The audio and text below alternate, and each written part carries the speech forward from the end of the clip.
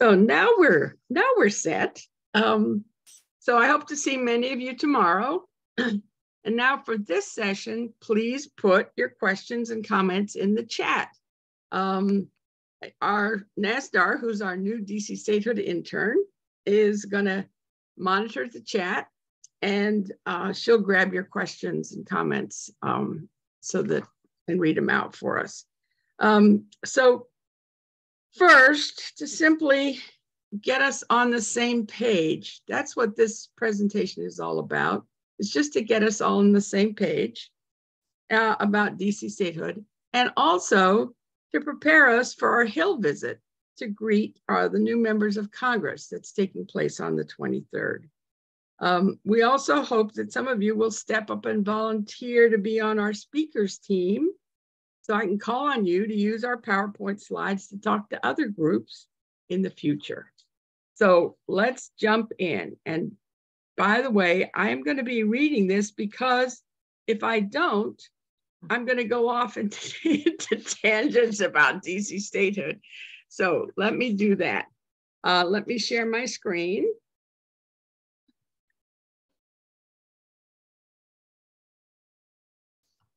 Here we go. I think this is how I change it. Come on. How do I change it? How do I move it forward? That's so weird. Sometimes, Anne, I think you might have to just click your, um, click it and then it'll turn on and then maybe then you can. There we go. Thank you. Thank you, Sharon. All right. so most of us believe that for a democracy to work for all of us, it must include us all. But today, Americans living in Washington, D.C. are barred from having an equal voice and voting representation in Congress simply because of where we live. The UN has declared DC's lack of representation in our national legislature a human rights violation. That's really important for us to remember. Um, so, you know, to be very clear, um, we need to move and see where how we got here. So let's see if we can um, move to a quick poll on DC's history. So when did DC lose congressional representation? Did we never have it? Was it when the Virginia side went back to Virginia? Was it in 1801? Was it in 1789 when the Constitution was adopted? You can put your uh, answers in the chat or you can just keep it to yourself, whatever. Um, I'll give you a couple minutes but this is part of American history that's not well known. All right, I'm going to switch to the next one. It was in 1801. That's when citizens were disenfranchised. So I'm going to condense, condense more than 200 years of history into a few sentences. So please feel free to ask me more details if you feel you need them. So back in 1801, US citizens, many of whom had fought in the Revolutionary War and were living in DC, were still able to vote in all Maryland and Virginia elections during the 10 years after DC had been established. Then, when Congress moved into DC and passed the Organic Act of 1801, that immediately disenfranchised everyone living in DC. So, the congressional record back then shows that even back then, they were concerned about, quote, turning citizens, DC citizens, into subjects. So the idea that the founding fathers wanted it this way is not true. So over the years, many arrangements for local government were tried, but Congress continued to exercise total control over DC as described in the Constitution. They even reduced the size of the district in 1847 when they sent the Virginia side back to Virginia. That was after the people on the Virginia side voted to retrocede and Virginia voted to receive them. This established the clear precedent that Congress is able to reduce the size of the district. They even established a territorial government. That was in 1871.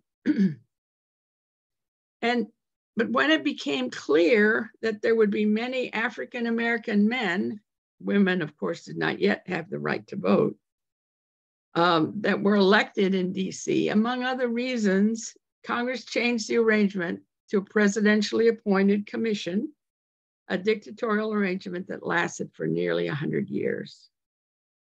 So now we're going to jump that 100 years to 1964, where we actually had the 23rd Amendment passed that allowed DC citizens to vote for president.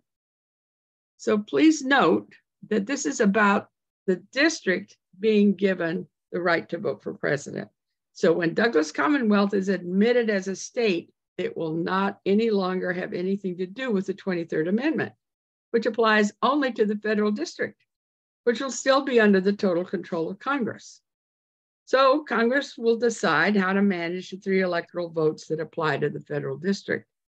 And the 23rd Amendment is actually addressed in our bill, our Washington, D.C. Admission Act, making it basically inactive. So it's not a barrier to the admission of the new state.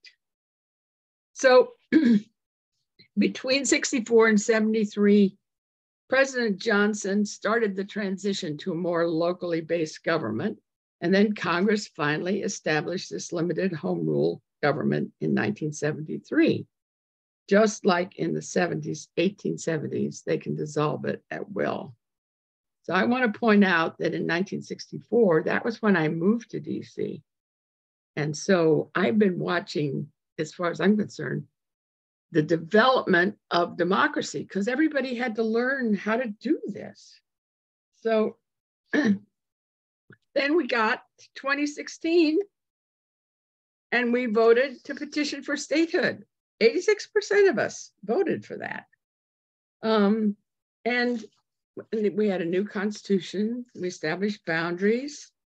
And guess what? In 2021 and 2020 and 2021, HR 51 passed twice, passed the House. And S 51 was introduced with a record number of original co-sponsors, but it died at the end of the 117th Congress. So in the 118th Congress, which is where we are now, HR 51 and S 51 have once again been, in, been reintroduced, but given the current polarization, our estimate is that will not come to the floor. So from the very beginning, DC citizens called for full rights and full representation this is a 220 year old fight, 222 year old fight. So our task now is to keep the issue on the front burner. We need to remember that a national poll last year found that 54% of respondents favored DC statehood. So let's see now how things work and how they would work with statehood. So you can see that on the left side of your map, I think it's left, um, you see the DC map. That's how we currently work. Know, our eight wards, and the we elect representatives to the DC Council along with five at-large members. Our mayor functions like a governor with many state and county functions as well as normal municipal tasks. The council passes legislation the mayor signs it, but nothing becomes law until Congress approves, which can take months. Our judges are appointed by the president. With no voting representation in the House and not even a voice in the Senate, we're really cut out of any decision making at the national level. Now, the map on the other side shows the federal district. You can see the federal district there in the white. By the way, the boundaries of the federal district are pretty close to this security zone that was established after the insurrection on January 6th. The capital city that people think of is all going to be encompassed in by the new federal district. You know, when the eighth graders come to DC to see our nation's capital, they don't come to see my house nor yours. So it's going to be the national government buildings, the monuments, the mall, the monumental core of the district. So this is important. With a federal district still present, we're constitutional because the constitutional says, Constitution says there shall be a federal district not to exceed 10 miles square. And Congress has already reduced its size before the Civil War. So the territory where about 700,000 people live will be in the new state. And we know we can become a state with a simple majority vote because that's how all the other states after the first 13 were admitted. So by recognizing DC as a state, we can ensure the full rights and honor the equal freedoms of every American, no matter our color, party, zip code, to make a place where we all have a say in the decisions the effect, that affect our families, communities, and country. So here's another view of our district and the federal enclave that the mayor's office has put together. And I like it because it's an excellent resource. It shows some of the landmarks and national of places of national significance. And it also shows ballparks and you know things like uh, like things that really matter to us. Um, and um, you know, Ann Ann Stuffer, could you could you break in here for a minute and talk to us about what you've recently used with the neighborhoods? Um, yeah, sure. Actually, so I recently did a presentation to some college students, and I was trying to think about the struggle we have in trying to make people realize that Washington, D.C. isn't just the mall and con- dysfunctional Congress and the White House, whose occupant you may or may not like, right? So people are always like, oh, DC, you know, the politicians in DC. Blah, blah, blah. So um, I, um, in my presentation, I had a map that was sort of generic, like the generic outline of DC with a couple of the, the national stuff on there. And then I found a map that shows the 131 neighborhoods of DC. So when I flipped to that and I said, well, DC is actually, you know, uh, uh, has a district with 131 neighborhoods, I got an ooh, you know, because I think people kind of really relate to that, right? And it looks like this very colorful quilt, which again, I think it also works in talking about quilt, the quilts project. Um, and then I also talked about like we have so and so many libraries and schools and farmers markets, because I really think people need to really get a tangible sense that we live here, you know, it's not just all these, you know, politicians that people love to complain about. So thank you. Yeah. Thanks. Yeah. This these are the kinds of things that we we keep um, reorganizing, recreating our our slides uh, as we get these new ideas. So one key fact I would like to also highlight is that in the proposed map, and that in the federal enclave, there are no residents living in the retained federal district. And there's no licensed residential housing in that part. So just there isn't anybody living there. Um, so, you know, if you go to the mayor's um, website, you'll be able to find more of these resources. so let's look at what it would mean to be a state. Well, we don't have enough time to explore all the effects of being a colony of the Congress. But if DC were granted statehood, we would more than likely not have these kinds of things happen to us. So during the years that Congress has prevented our needle exchange program, we ended up with the highest HIV AIDS infection rate in the nation. So it's not like these are not you know, the way that Congress manages us is not just on paper, it really affects lives. People lost their lives. And during the few times, the few years where they did not get that rider passed, our infection rate dropped by more than half. So, you know, it really makes a difference. Now, because Congress has control of our local tax dollars, they prevented us from using them to help low income women who needed um, medical care, abortions.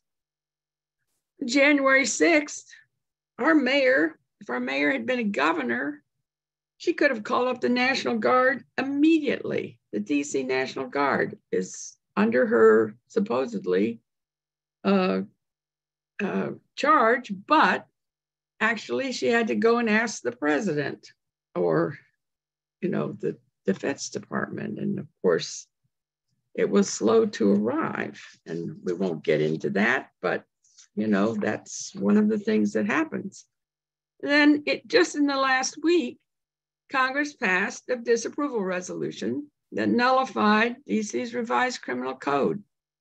Now, regardless of one's personal opinion about this DC law, duly passed by the DC Council, we who live in DC are entitled to the liberty of self governance at the local level.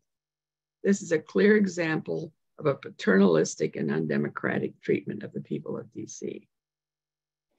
There also I want to be clear that many policies imposed on DC are discriminatory. For the record, the racism that's been displayed over the years is often not subtle. It ranges from microaggressions to intended insults.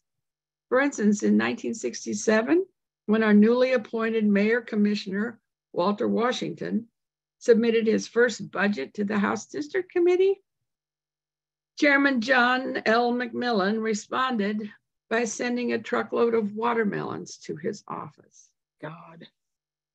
So we have tried many ways to get full rights for DC citizens, and it's become clear that in order to be on an equal footing with the rest of the country, the residential and commercial parts of DC needed to need to be admitted as a state. So let's just talk a little bit about who's working on these things because we've been accelerating our momentum. So the Voteless League of Women Voters, which is what they called us, or we called ourselves back in 1920, um, works in tandem with the National League, the state leagues and local leagues across all 50 states and more than 700 communities. DC statehood is part of the National League of Women Voters policy priorities, which grants us greater latitude to mobilize and outreach with our sister leagues. So I mentioned that the League of Women Voters is a nonpartisan organization, the league that believes that for democracy to work for all of us, it must include us all. I've said that before, I'll say it again. It's something you can say over and over again. The League has been working for full rights for DC citizens since 1938, understanding that lack of representation and local self-government are civil and human rights issues. We don't do this work alone. We have local partners, we have national partners, and we're very much open to collaboration. so a key example of this is this DC Statehood Coalition made up of national and local organizations. Here's just some quick views of, you know, the kinds of things that we've done. Um, one part of our coalition is focused on state legislators putting out resolutions in support of DC statehood. And I, of course, as soon as I hear from them, then I write to that state. And I just heard from New Mexico letting who let us know that they had given um, given testimony supporting DC statehood and, and that it actually had passed the committee that was in. I don't know whether it'll get any further because I don't understand New Mexico politics, but that's all right. So another example is this Hill visit. Let me just move this forward because you can see these other some other things that we're doing. The DC Statehood Lobby Day or the Hill visit that DC Vote is organizing on March 23rd. DC Vote does this every two years, except during the pandemic, to welcome new members of Congress and introduce them to the real people of DC. And this is what we've been trying to do with hashtag picture 51 too. so when we meet the new members of Congress who've agreed to meet with us, we'll want to be bringing our personal stories, what kind of work we do, who we are in real life and be ready to tell them one thing about why DC statehood is important to us personally. So here's how the Hill visit will work. You can sign up for morning, afternoon, or all day. There'll be lunch provided from 12 to 1. We'll be divided up into teams with a captain who will have the information about who your team's going to be visiting. Your team will have a chance to briefly organize itself for the meeting, which may be with staff who may also be new to DC. So let me point out that since these meetings will be much more personal and relaxed on Thursday, the 23rd Hill visit, this visit is a good time to bring along teenagers. So you can register for the Hill visit because NASDAR's going to put that in the chat. So here's some more things that we've been putting, that we've been trying to put things on, um, keep things on the burner, um, on the front burner. I've now lost track of where I am. So, um, but you know, we've seen picture 51, we've seen um, postcard mailers, we've seen distributing statehood signs, we've provided frequently asked questions sheet. Um, we, you can follow us, hashtag picture 51. Um, and of course, we've also invited quilt makers to participate in a quilt challenge. And you can see a, a part of the quilt challenge, one of the quilts right there in the middle there. Um, and then our petition delivery day, that's what it looked like with Senator Tom Carper of Delaware, who's our original co-sponsor of the Washington, D.C. Admission Act in the Senate. He was accepting the petitions of for DC statehood that were collected from his constituents. And um, the last one, this colorful mural behind me uh, was colored in during a music festival by participants who chose to help us fill in the spaces with vibrant color depicting the many communities and neighborhoods that make up Washington, D.C. Washington Douglas Commonwealth. And finally, at the bottom, this is one of our frequent social media posts. We think a picture is worth a thousand words. And so this is one of the ways that opponents try to spread information is by talking about the whole of DC. You know, they say, well, no, Constitution says you can't do that because because there because DC has to be, you know, a federal enclave, you know, can't be a state. I often say, you're absolutely right. That's absolutely true. If we wanted all of DC to be a state, we couldn't do it. But that's not what we're asking. We're not asking for the whole of DC to become a state, just the parts where we live. Oh. So the new state will include the residential and commercial parts, where some had 700,000 people live, work, play, worship, serve in the military, on juries, but lack full representation in Congress and full local control of their laws and budget. There will still be a federal district, as the map clearly shows. So now we're going to go to Q&A and I want to I want to note that on purpose I did not include all the arguments against DC statehood. So I'm hoping that you all will think about things that your friends and relatives, and colleagues and contacts have said, well, but what about you know, fill in the blank so that we can talk about how to manage those kinds of things. And I'm going to start stop sharing my screen.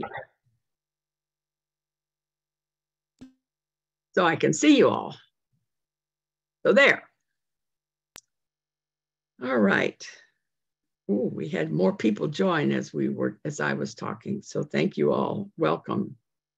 Um, so I'd love to hear what you all think about what people say about, well, but, you know, what about?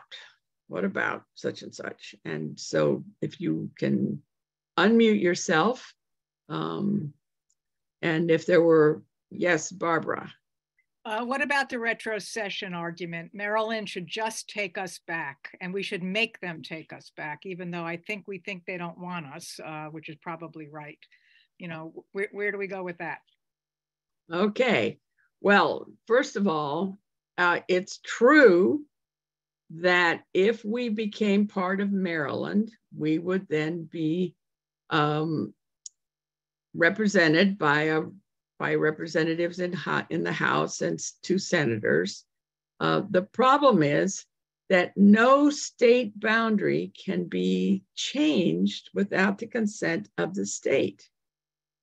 And back in the 90s, when we had our first um, bill in Congress that actually got to the House floor and died, I mean, it, it did not pass.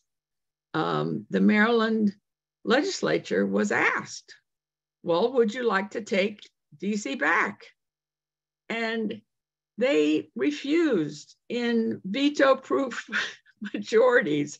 No, we do not want DC. And every, I think all but one member of Congress representing Maryland are uh, co-sponsors of the DC statehood bill.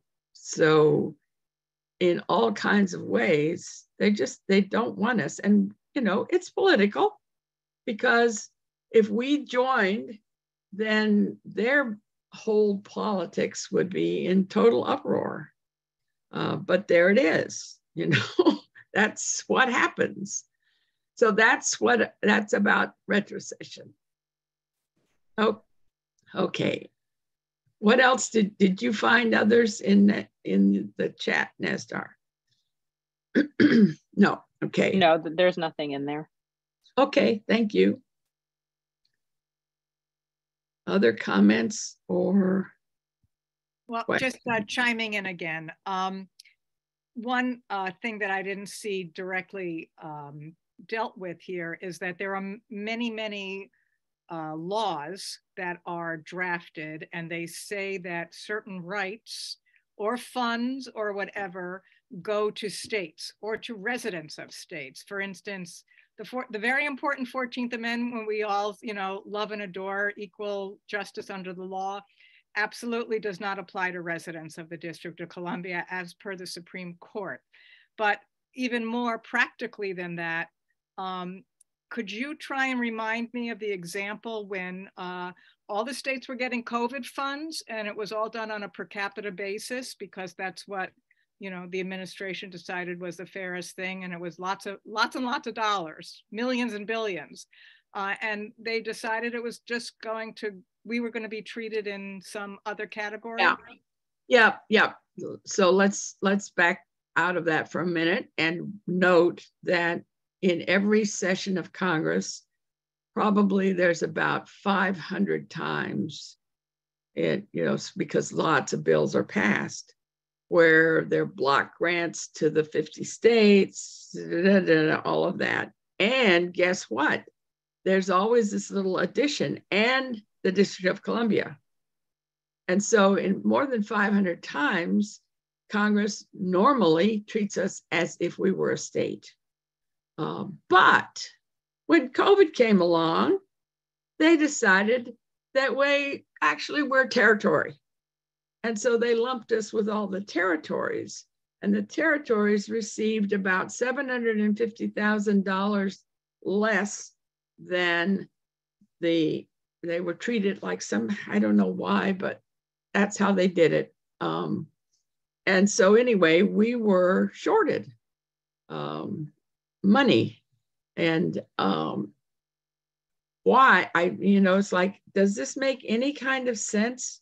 You know, like, wouldn't you think that if Congress were coming to Washington, D.C., and then going out to a restaurant to get something or, you know, going and getting their hair cut or whatever, that you would think that they would want us to be fully protected and get as much support to fight off this pandemic. But no, we got less money because we were treated as a territory at that point. And um, just to bring you fully up to date, the next Congress actually fully funded, brought us back up to the equivalent as if we were a state. So, Anne. Okay, so now that we're talking about federal funding, here's a question we always get from from other people and actually DC residents. Are what's going to happen to all the special federal money that DC gets? We're going to lose a lot of money because of statehood. Right. Yeah, that's that's a that's a critical piece because actually there are a lot of people who live in DC who think we still get a federal payment. And historically, we have received a federal payment. Uh, one of the th- people that um, talked to us during our convention, our conference last year, um, had done a study, and she found that there were over years there were times where Congress said, okay, you're going to get blank amount of money for federal payment to like, because we can't tax federal properties. And oh, every time when she looked at it, they'd say, well, you're going to get such and such amount of money. And they never made it up to that amount of money. We would get some, but it wouldn't, there wouldn't be it wouldn't fulfill the, the amount that had been said we would be getting. Um, so now the reality is there is no federal payment. We do not get a federal payment. In fact, we fund ourselves totally and entirely. And the amount that comes from the from the federal government um, that is is like just exactly like other states, we get block grants for transportation, for Medicaid, for other, all of those regular things. And we actually have get less money than about 22 states. I think that's, I haven't looked at it recently, but the last time I looked, it was 22 states get more money for their budget than we do uh, on an annual basis. So does that does that take care of? Okay, good. Sharon.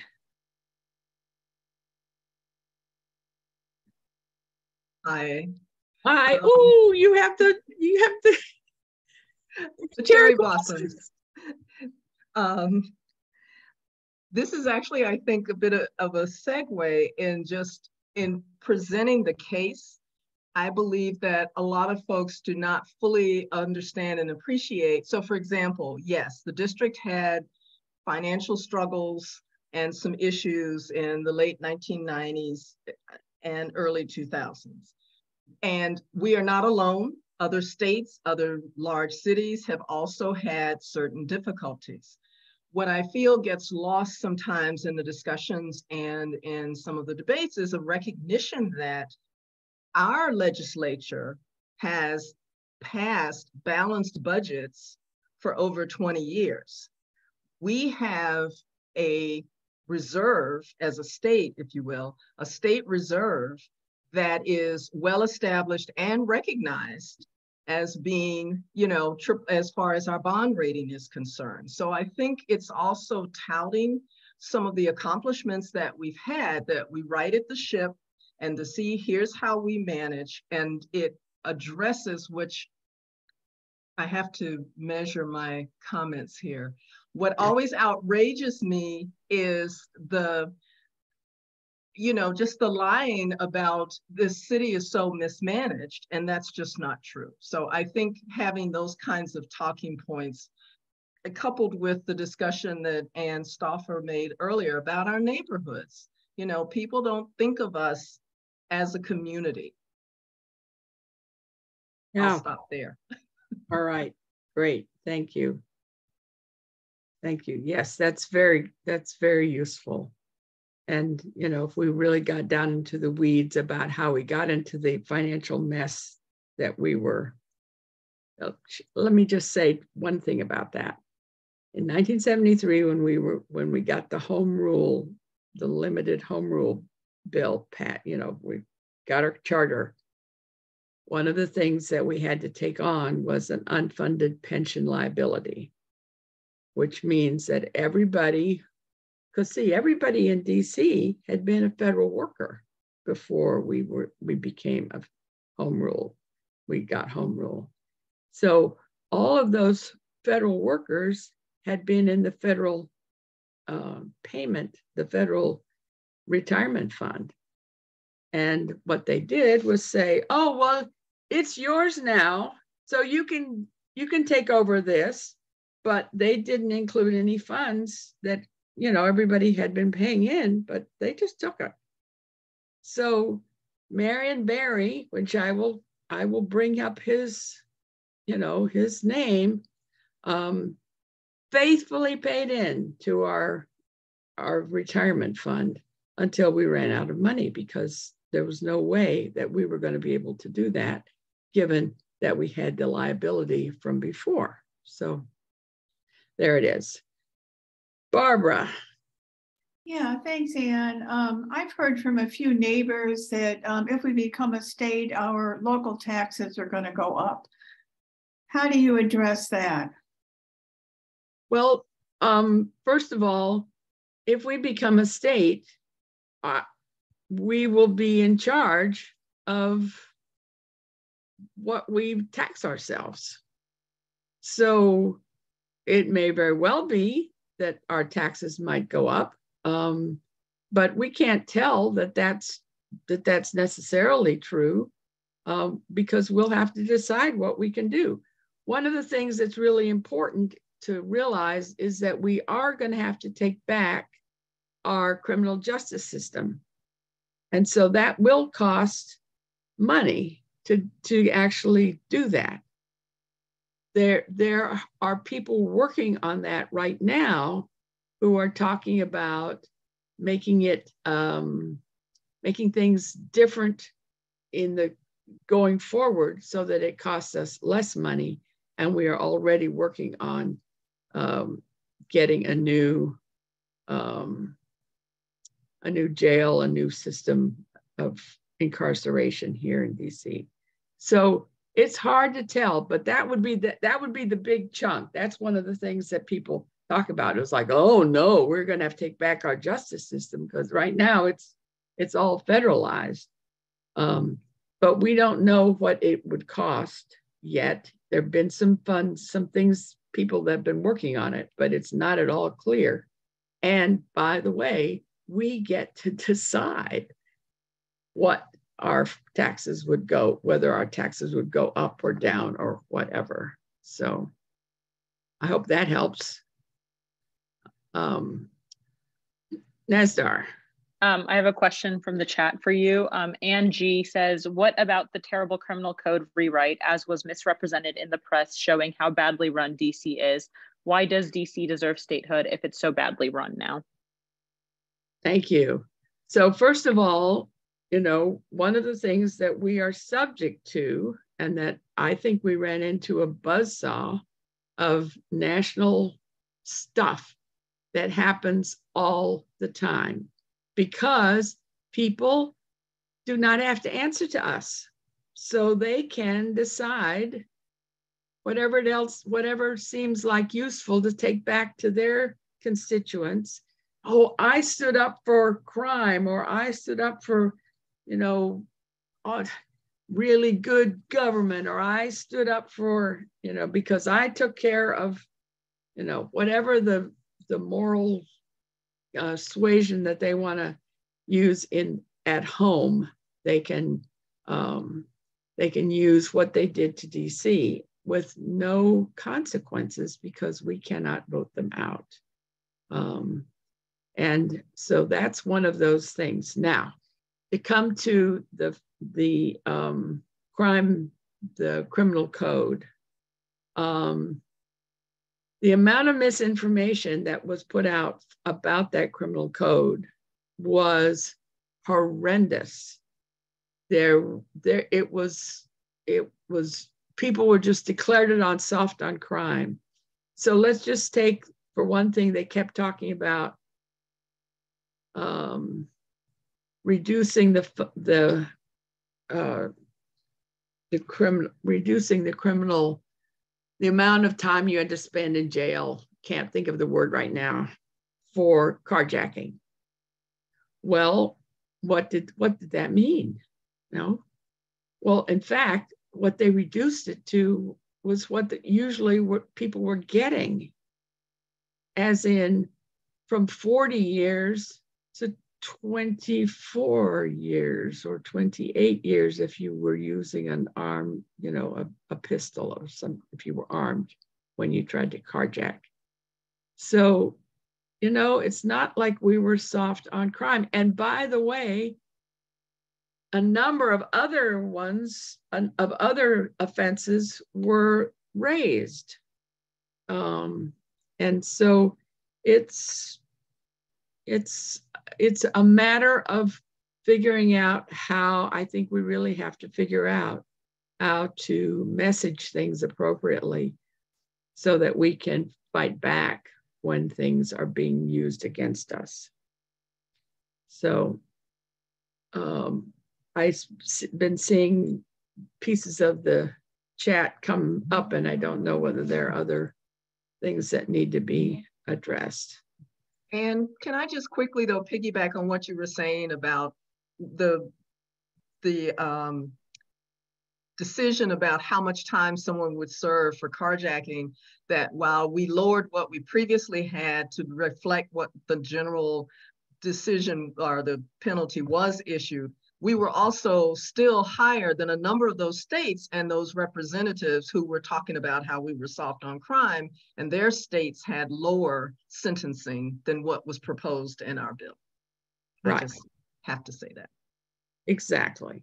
And it's the same thing with the needle exchange, you know, that the, there were people who were being all moral about needle exchange in Washington, D.C. when their their state had implemented needle exchange in order to uh, reduce the in, level of infection of HIV AIDS.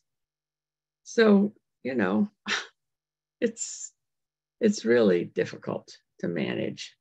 I have to take deep breaths a lot um, to make make it clear that I can manage this. All right, Barbara. Just a quick question. I happened to uh, run into uh, Reverend Warnock, who lives around the corner from me last night as he was getting out of the car. And I actually did yell out, hello, you know, sir, thank you for your service. Though in my heart, I really wanted to say, why did you sell us down the river? You're the moral core of, you know, the hill. Uh, so, you know, what happens on the 23rd when everybody's walking the walk? Um, are, are we just going to ask them to say mea culpa? And I didn't want to, you know, I didn't want to spend my money uh, countering the 30 second commercials that were going to put me up like Mike Dukakis and all of that and Willie Horton, which of course is what would have come. Um, you know, uh, really like shame on them, no? Well, you know what? The, um, in fact, the 23rd is not going to be a time where we get to talk about that. We really don't want to do that uh, because this is really welcoming people to the neighborhood. And we can't walk in with our, like, so you voted against us. This is not going to make friends and influence people. Um, this, what we're going to do is try to help people understand that, in fact, when they, you know, without having to talk about it, they are the ones who just did this to me. And when I go out to another state and I'm talking about DC statehood, one of the things that is most effective is when I say, so you know, you vote for a congressman, right? And when you go to, will you send the congressman to the Hill? And I never say send them to DC. I send let's say send them to Capitol Hill. And they arrive here on Capitol Hill and they're supposed to represent you and they're supposed to carry your messages. And you know what? They're in charge of me.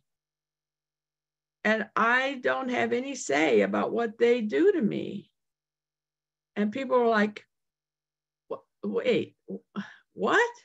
And I'm like, yeah, yeah, because I live in Washington, D.C., and I don't have a member of Congress that can vote and I don't have any senators. And so your senators and your congressmen are the people who are in charge of me. And I don't think that's very American.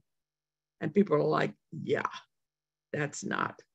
And that's that's where we need to keep saying you know, this is why we need to keep this on the front burner because people don't understand that out there. Um, so, so Anne, uh, is your hand still up or hand up again? Uh, it's up again, actually. So um, I'm I'm curious. I'm going to actually put Diana Wynn on the spot because she is, from what I understand, a communications expert. And you know, many of us who are here on the call are the already converted. But I was just wondering if if she has thoughts about what you've heard or the messaging or you know?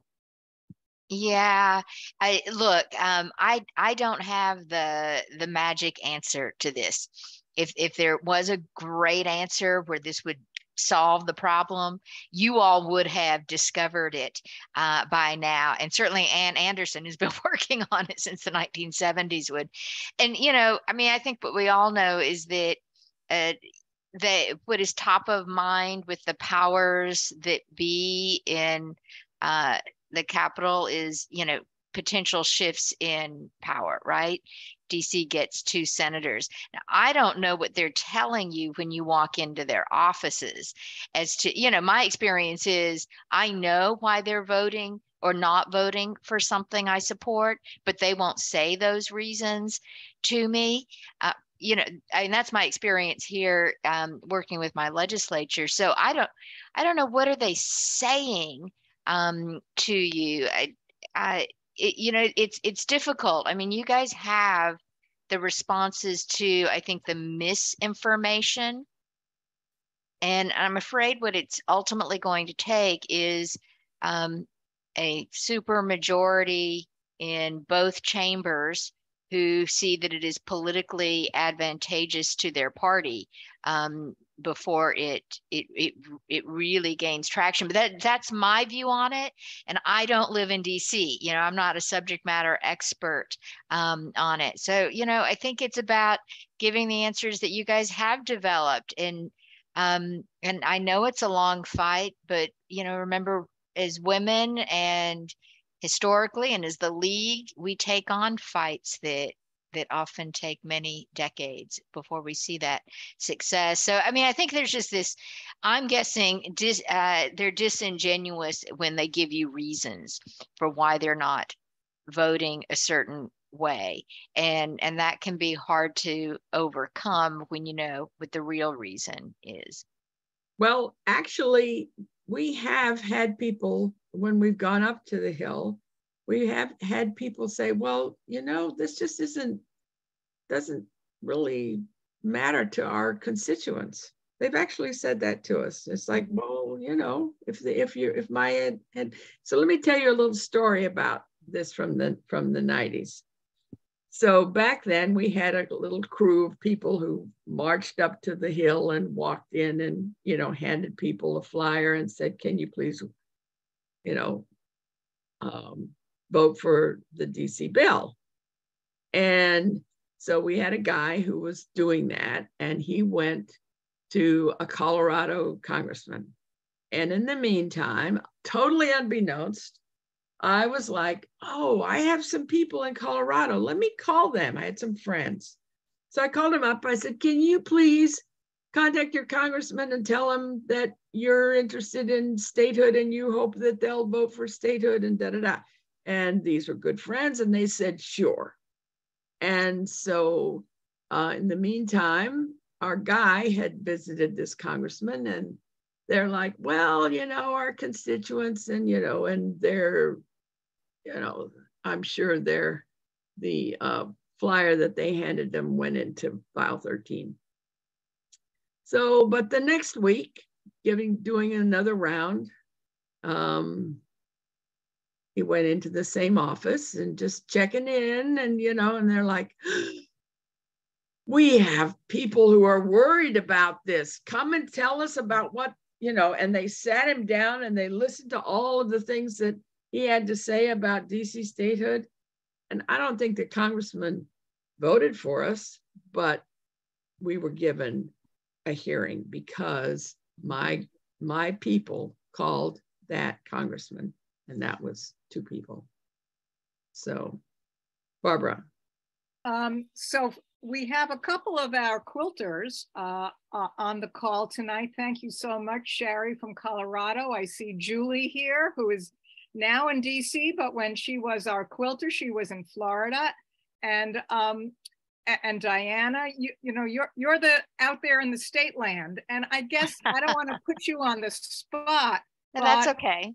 If you have any ideas of how we can rile up these constituents and make them they all get the moral case i think. Mm-hmm. um, once they hear the stories and there are so many people you know most people have no idea that we don't really have representation and it's even worse yeah. so, so, yeah so you know i lived um, I, I worked in dc at one point. Um, taught as an adjunct professor at udc um, my husband worked at law firms in DC and I lived in College Park for many years. I taught at Prince George's Community College for, for a number of years. Um, I was unaware of uh, DC statehood issues until I moved to, to that area. Um, so while I lived in Maryland, I mean, if you live in Maryland and Virginia in that area, you know, the Washington Post, and so you you you learn about you know national news is local news, local news it becomes national news, um, and so I think that. Um, in terms of getting people's constituents, like in North Carolina or even in California or Illinois, to care about it, it really is about an education campaign. Um, so it, it, I don't think that Americans are overwhelmingly against statehood. I think that most probably don't have an opinion. They don't know anything about it. And so I, I love that you you you reached out to your personal network, um, and that person in turn was able to, you know, spark um, a response where uh, an elected official felt like um, they needed to do at least something, even if it wasn't vote for it, but to do something. And when something happens, that's an opportunity for education, right? You know, yeah. if anything happens, even if it if the results aren't what you get, if anything happens, if there's a, an event, there's a hearing, or whatever it is, it, it is an opportunity to then use that as a platform to have a public message. And so, you know, I, and I'll be honest with you, at one point we were looking to, um, we were considering retiring in DC, you know, it was one of the cities, and we probably won't, but not for this reason alone. And I want to make that clear. But it did, it, it, it, I was very conscious of the fact that I, I moved to DC, um, that I would lose my voting rights and my you know eh, that that's my feeling and i feel pretty strongly about you know uh, my voting rights. And so you know i think that when people uh, if if they can imagine a decision point um, to get them to empathize uh, that you know that may help but i really think it is about national education I would encourage you to use your networks um, through like state league presidents. And I know it wasn't that long ago we had a, a league in, was it Maine? I'm not sure which state it was now, got a letter to the editor published on the issue of, of statehood. I loved when I saw that. Um, we need more of that in in in you know the other 49 states to make it clear to people that DC statehood actually impacts me in North Carolina, right? You know, um, because it, it it it does impact what happens in Congress if you all get representation. Um, and and it and I think it's important, but you know, again, I didn't know anything about it until I moved to the area and this is not something that journalists are covering in in their states um, so so as a leader in the national league and i see sherry over there in my corner who's a leader in her colorado chapter and has done all sorts of interesting things yeah.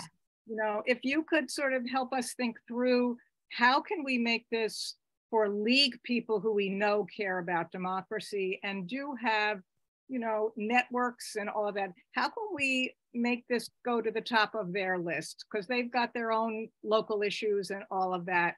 Um, Mhm. Is there something that we should be doing to make it simpler for them? Uh, we, we did the quilt project and that really helped stealth education. And by the way, I'm inviting everybody here to join me for the continuation of that project, which is um, a session just like this. We're taking out to PTAs and um, groups looking at climate change and gun control and Mhm. uh, faith communities to talk about how they can use the arts to lift their advocacy. And as a stealth education, we give the example of our uh, Quilts for DC statehood, and then they learn about the issue. Yeah. Um, so I'm looking, you know, I, now that we're all getting trained, um, I'm looking for people to join us. And also on the call here is Laura Cuman, and she and I are working on a new, you know, project that will be using the food world to talk about uh, DC statehood by uh, putting together a, a- cookbook that would be national based on Laura's work in suffrage. Um, Sherry, you should have her come speak to your group. um, so if any ideas about how to help lift this issue by people whose, you know, tushies don't sit in DC, because we know this. No, well. yeah. We- Yeah, And and and you know, and so I didn't expect to be asked this question, so I haven't thought deeply about it. I came really to get uh, you know to get kind of a primer and updated on this. And you know, the thing that comes to mind is usually I, I still go back to leverage your league network, right? You have it, um, and there are 50 state presidents. Now I know that sounds like a lot, um, but it, it I mean, if, I don't know how large your committee is um, with, within the league, but I would suggest to you individual outreach to a president is going to be far more effective. And and and that that may take months before a whole team can get through them but if you can do individual zoom meeting to talk to them and tell them you need their help you need their help Yeah, well, Um, Diana, we've, we, just to be clear, we have been to 30 states Mhm. and, and invariably, uh, and this is where, where I think that the level of education gets so clear. Invariably, when I have, you know, entered a league meeting and in the process of saying hi and chit chat and all, people say to me, so do you live in DC? And they're like, and I'm like, yeah, along with 700,000 other people. And, you know, and part of what I'm realizing at them, even as I, they say that, is they don't know. They Mhm. can't, they can't picture. I mean, DC is the Washington Monument. DC is the White House. DC is the Capitol. It's not our neighborhoods. And and I've had there was one place where I was, you know, giving my presentation and I got to some place and somebody in the audience said, "But that's not American." you know, so there were there were ways that they were like getting it finally, but it's so clear that it's very difficult to even imagine that we don't have that we are i mean recently i finally learned even i'm i'm still learning i finally learned that it took us a hundred years. Dc did not have right to jur- trial by jury. Dc had to be given the right to trial by jury by the congress so there are these kinds of things that I it just does it doesn't occur to me. But you know, the reality is that we really are a colony, and and whatever Congress says is what is how Congress goes, and how we how we don't have any way to say back. And when we talk about that and really make it clear, it's really it really comes comes home to people. Um, and I couldn't agree with you more that it's about education. And um, and I think that the personal level is a critical piece. and the other thing that I want to just highlight again, because I mentioned it, but one of our coalition, DC Statehood Coalition members is working on the Statehood Compact. And what he does is he reaches out to state legislatures, uh, state legislators to get them to put a resolution for DC statehood. And already there have been more state legislators who have put in those resolutions in multiple states. I've I've been trying to keep up with him and I'm I'm behind. Nasdar, I'm behind on this. I, we need to we need to work on getting those things out to people because what I do is when he sends me a note, it says, okay, the there's a resolution in Utah or there's a resolution in Missouri or whatever, then I write to the to the state league and say, hey, there's a resolution for DC statehood. Can you please provide support for that? And, you know, given that the National League has said this is a priority, we can we can do that. Um, and so um, those are the kinds of things. And I think when we have a resolution in a state legislature, it, it has another way of focusing the attention so people can actually have something to do about it uh, to support. And like I say, um, I just had somebody from from New Mexico tell me that she presented uh, testimony in person and and it passed out of the committee that that it was in. So, you know, we'll, you know that that's you know who knows where it's going to go, but it's a, it's about education. It's about education. Judith, and then Sherry. Hi, thanks, Anne. And thank you, everybody, for all the work you're doing. I was struck by a couple of things. I've lived all over the place.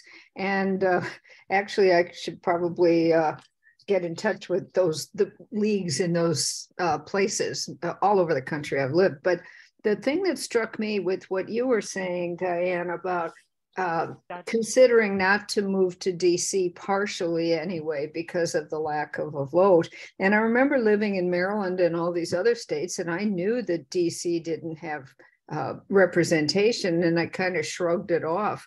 So, oh well, too oh. bad. Until I lived here, and it was like, oh, now I know what it feels like. And it's a very, it really was a, a, a aha moment for me. So I, I, one question I will ask people in my network, and we're all at the age or have already of retirement or have retired, is would you move to a place where you had no representation, no voting rights? and then emphasize what that means. You know, don't go into DC and it's a city and I like the country. None of that. I mean, that's important, obviously, but would you live in a place like that? Would you choose that? Because I know it didn't cross my mind when I came here, and I'm happy I'm here.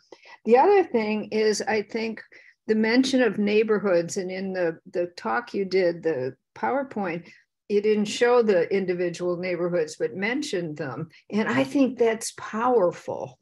I grew up in a city, I grew up in Chicago, and we I lived in one neighborhood, and you know, a mile away was another neighborhood, and we even had um, uh, kind of competition and friendly competition, you know, and everybody took pride in their home neighborhood. And the idea of the people and the the uh, businesses and we're the life of a city and pointing out that we're not the monuments. I can walk to them if i want and i love that but that's not where i live so thank you for bringing those things up it really triggered some things for me thank you that really underscores um, you know anne's anne stuffer's um, perspective on that Sherry. Well, first of all, it was totally our privilege to uh, participate in Quilts for DC. And I just gave a little update yesterday at our uh, monthly meeting and mentioned the tireless work that Barbara Garlock did in creating that program, in receiving our quilts, in displaying our quilts, having a wonderful presence on their website, on our website. I mean, really, it was just endless and very concentrated, really uh, appreciated uh, approach. And the attachment on that Quilts for DC uh, narrative was excellent. So she had a variety of attachments there that you could go from zero knowledge to lots of knowledge just instantly uh, by hitting those uh, various links. And everyone used that and everyone raised their education level because we were wanting to create something that was within the purview of uh, bringing attention to votes for DC. So that I gave that just yesterday and invited many of them to join us today um, on this presentation. And then uh, one thing, I was in uh, government for a long time. And one thing that you have to do when you're trying to, you know, uh, talk people into stuff is give a monetary value. And so I would love to see what are you saving the government when you have to take back your um, your uh, uh, policing? What are you saving the government in anything else that you can can do? Because that's a powerful statement that someone who is not interested in the altruistic uh, viewpoint may be able to sink their teeth into if indeed you can save something like that. Then in uh, February, uh, we had a wonderful speaker uh, for uh, African American History Month, and it's a cross league situation. So that particular person is a friend of mine, Dr. Annie Beneville. She's the president of Houston, and she was kind enough to speak to us on uh, the US Constitution and voting rights. And so that was a beautiful program, cross league. So I would highly recommend anything, just like um, Anne uh, uh, was saying, or I'm not sure the name, I'm sorry, but um, the we already have the system in place. Let's cross league power uh, on on this particular subject. And then I, you guys may remember we uh, started an initiative called uh, United We Sit, Divided We Fail.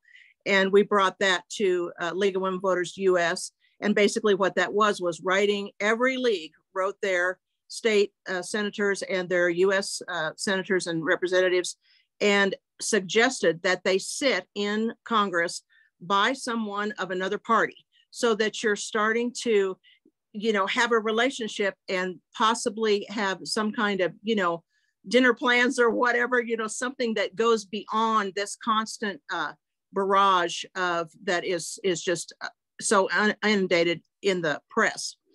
And then um, successes absolutely i would i would just send that out wherever you can. Those those successes are huge you know to to refute any of these misinformations you know like uh, saying oh you know they were in a financial trouble a long time ago no what um, the other lady said was uh, they they made a turnaround and they have had 20 years of balanced budget that's powerful stuff so those kinds of things are really neat too. And I'm really excited about the fact that you're using, you know, League is, we're crafters. And, you know, for the whole entire history of our world, it's, it's this gentle approach. And I love the fact that Quilts for DC is going to expand that into, or, or, you know, I'm, I'm probably misstating it, but uh, into other uh, venues. But I would, that's what I would do with um, with um, Quilts for DC, or not Quilts for DC, I'm sorry, uh, all the DC uh, types of things that we're trying to uh, work with. Also, I'm an avid gamer, uh, board gamer. And there's a wonderful board game called um, Wreck the Nation. And it was done by two senators a while back. And, you know, it's just really cool. And then um, there's one called Wingspan, and Wingspan is very um, Wreck the Nation is super political. Wingspan is uh, ornitholo ornithology, and it is by a DC gamer that is also an ornithologist. So, what about the idea of developing some kind of DC game? Uh, we're talking about a board game now. I'm not interested in uh, video games, but a board game and um, and you know talk about this stuff get it on a board that people can the the industry the gaming industry right now is a multi-billion dollar industry you could make some money. You could bring i mean if it hits you, you, it's just it goes viral like that. So anyway that's i think that'd be so cool to work on a board game that brought forward a lot of these types of things. And you know it's fun to play board games. And when you're playing a board game about uh, dc statehood that's killer cool. And i would absolutely work on that in a flat second i even have blank boards ready to go. And i'm an artist. Sherry this is dangerous. You are on. Guess what? You know visit your daughter also. you know that that my brother and my son and I um, made a game about the Iran Contra issue. I still have it. You know what? I'll send you a copy. So very cool. So we can do this. We can. I I'm, mean, you are that, you. You have her email, right, Barbara? okay. Thank you. All right uh, let's, I see Diane, Diana again has her hand up. Yeah, just a, a, comment as I was listening um, to the the last uh, couple speak. I, and, and, and Sherry, I think, has brilliant ideas. I loved your quilts for DC project and the way you could spin that in into a, um, a messaging campaign um, and fundraising. I mean, it it it, it had uh, lots of purposes. And I think that it, it's a model for other leagues on other issues. But what I would add, you know, you, what you have is largely in your toolkit, the, mostly the facts are on your side on this issue and and my experience in the league is you know we tend to be women who are very analytical thinkers and we collect facts and so sherry's right you know um, make sure we're also touting our successes and in that toolkit should be the economics of it but um, what we also need to remember is the power of storytelling when we're educating and persuading people. Um, and that you, you, want all those facts, but you want to read the audience in front of you. By audience, I mean, it could be a whole room full or it could be a single person.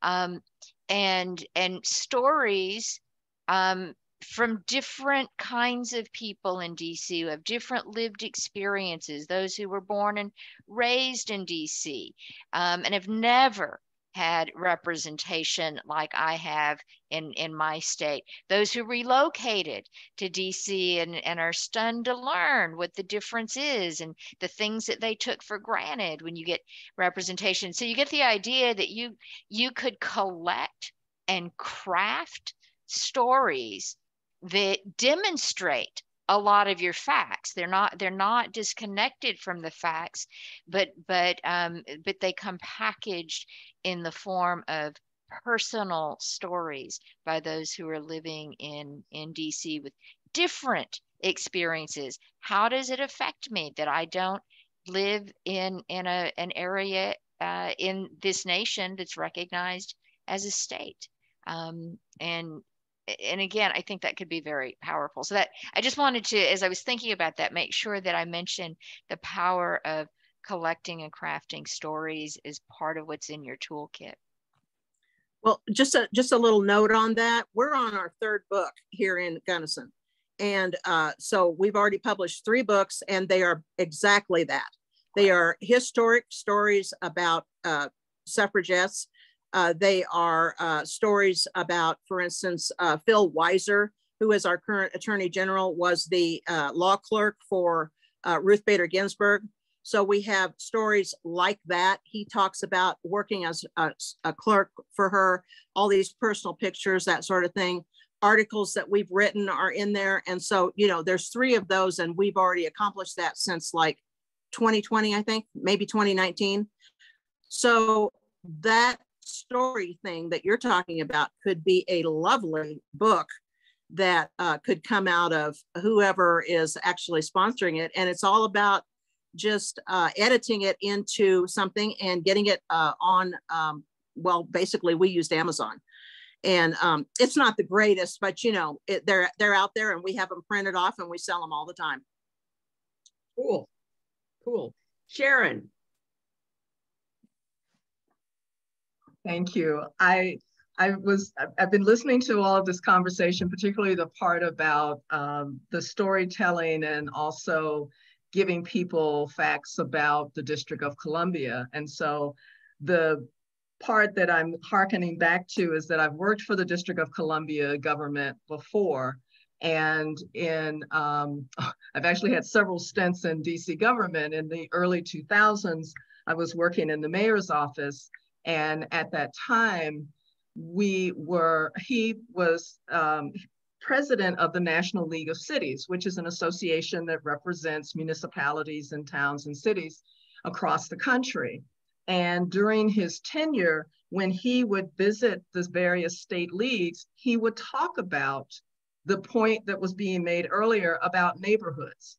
And, and I'm just looking at the projection, uh, the projection, if you will, because this particularly I was traveling with him in 2005 as a staff person and how he was telling people then DC is more than monuments. You need to go out and see the city. You need to see the people who live here.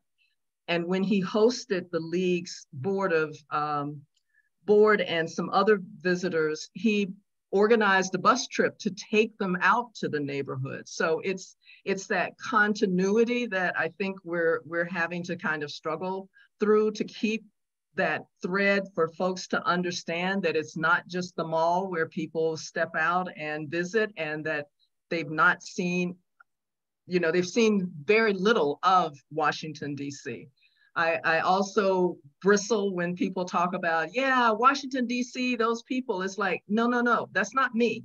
You should say congress because that's not me.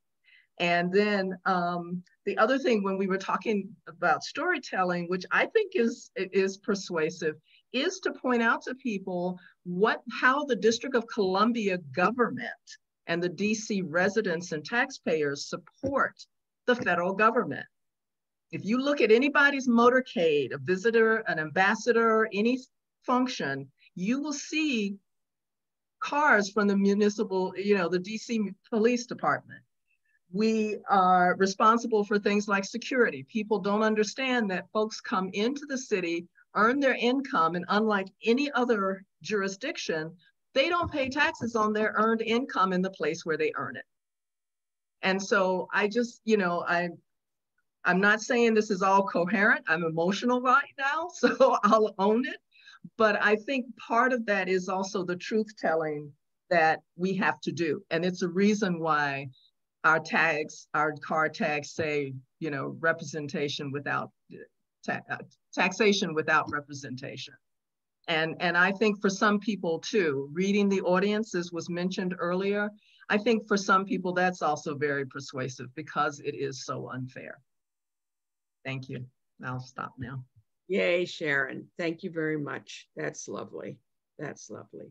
So I am very aware that we are coming to um, 756 is what my my computer says. And we said we would stop at eight. So I'm open to any last comments.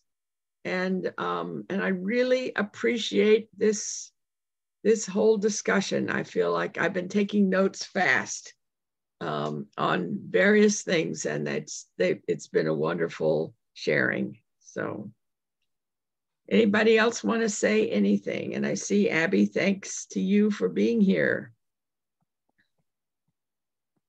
I want to thank uh, the quilters who came and, and all of you. Um, and we'll be reaching out to you with different opportunities to step up just a little bit with your connections and your contacts. As I said, Laura and I are working on a cookbook. We want to involve all the leagues all over the country in that so that, you know, everybody in the country can understand that there's broad support for DC statehood out there. And, you know, they can use it to cook delicious things. made yep. by celebrities. uh, let me know. Uh, reach out. I have someone here in North Carolina who might be a good contact for that cookbook. Okay. Thank you, Diana. Reach out to me. Okay. Fabulous. Fabulous. So thank you all for joining here. I'm totally delighted. And, you know, just so you know, this is a 51 star flag behind me. So just so in case anybody was worried about what the flag would look like. Have a good evening for the rest of the evening. I'm going to go get some tea. All right. Thanks, everyone. Good night. Thank you. Thank you. Good night. Good night Good and night. thank you.